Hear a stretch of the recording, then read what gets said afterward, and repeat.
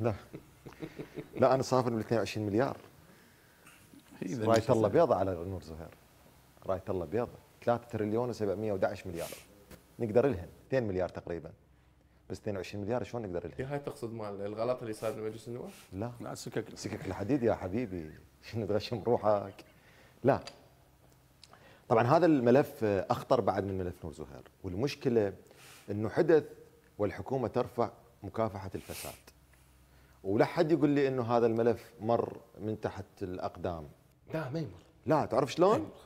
هذا الملف بالذات هاي المبالغ ما يمكن أن تقر وتوقع عقود إذا ما يمر على مجلس الوزراء ومكتب رئيس الوزراء. زين. زين لما آني أسمع الأستاذ. ياسر الحسيني النائب وكلامه وأطلع على العقد نترحم على نور زهير. ما أخذ شيء نور زهير. 22 مليار دولار. عقد ويا ثلاث شركات من ضمنها كما يقال شركة نور زهير متعاقدة عليه وإنه يتم العقد بتمويل من الحكومة العراقية ولمدة 40 سنة.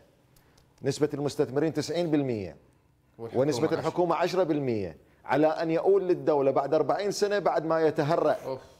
مش بقى بيه هذا شو تقول عليه؟ لو أكو شرط بهذا الموضوع لا يمكن فسخ العقد. وفي حالة فسخ لا العقد يمكن. لا يمكن فسخ العقد وفي حالة فسخ العقد